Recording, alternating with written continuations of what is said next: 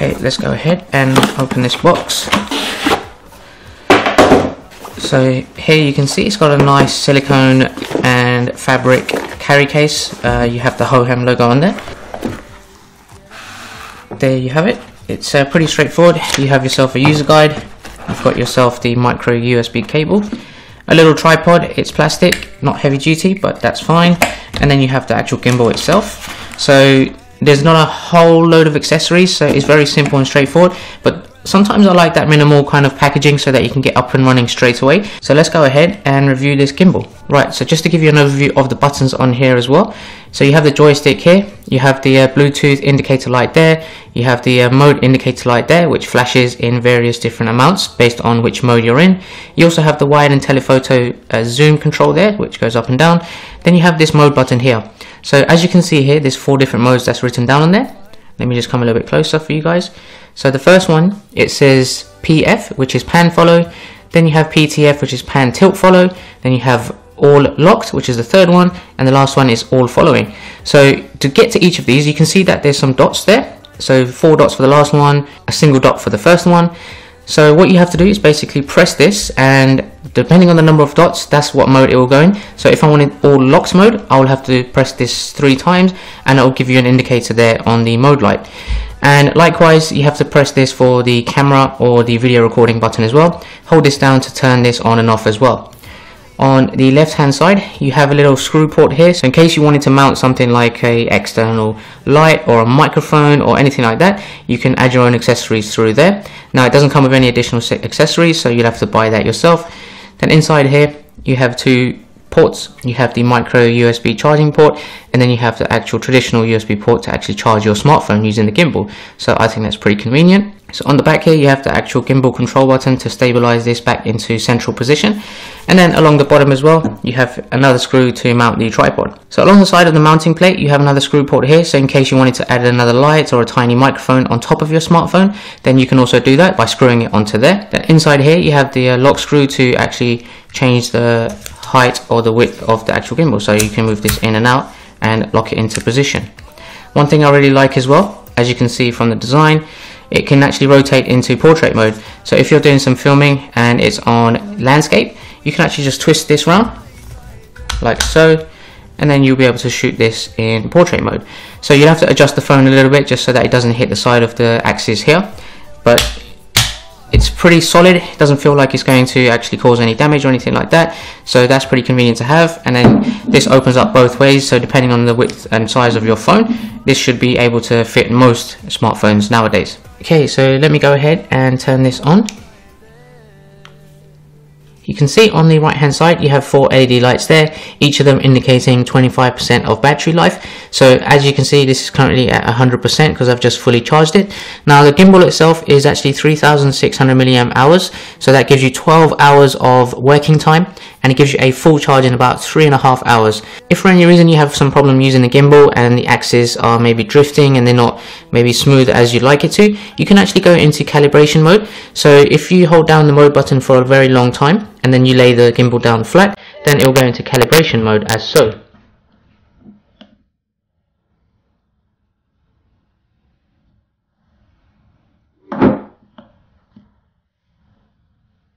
So as you can see, the mode light is a solid green and this has gone into calibration mode. So I had to hold that down for about 6 seconds and uh, it went into that mode immediately. Now that the mode light is off, it's now completed and I can start using this again by turning it on. Now I'm ready to connect this to my phone. I've got the uh, Hohem iSteady Mobile Plus app. It's very simple to set up as long as the gimbal is on. You just go through the settings. Now I've paired this already so I'm going to reconnect it. It's up and running. So I'm using an Android but this is also compatible with iOS. I'll leave a link in the description of where you can download the apps. So there's various functionalities. I would definitely recommend using their app because you get all of the different functionalities and the modes to get the best video recording. So you have modes like inception mode 360 degree panorama motion time lapse, hyperlapse, slow motion, and tons more. So in the actual app itself, there's plenty of options. You have a little filter icon there on the bottom right. You can actually change the video and see in live view a different filter. I can go and cycle through all the different ones. It's very similar to Instagram. Some of them have actually the same name as the Instagram filters as well. So that's pretty convenient. I've uh, not seen much features like this in other gimbal apps. So I'll leave it on original for now. On the bottom right, you have the video icon. In here, you'll be able to go through all the other different modes like motion lapse, light rail, which gives you at night time if you do some light streaks, it slows things down and gives you a long exposure of that. You also have time lapse mode, a very long exposure, and then the standard video recording. In terms of the panorama options, you have panorama 180 and then a complete 360 as well. So if you wanted to get a complete view of everything around you, you can do that. There's also a face tracking mode. So if I turn this on, it will track your face and then you leave the gimbal on the tripod and then you can move around and it will follow you and where your face is. On the left hand side, you have some filter settings if you wanted to change the focus, the white balance, the uh, EV on there and uh, also the ISO. You can do that from there. You can turn flash on and off, switch between the front camera and the back camera, and then go into other phone settings to change the video resolution, camera resolution, photo sizes, noises, and all this kind of stuff. So plenty of options to play around with. Okay, so that was the unboxing. Now let's go ahead and I've got this set up with my phone. So I'm gonna go out, start doing some filming, and hopefully you guys will like the footage.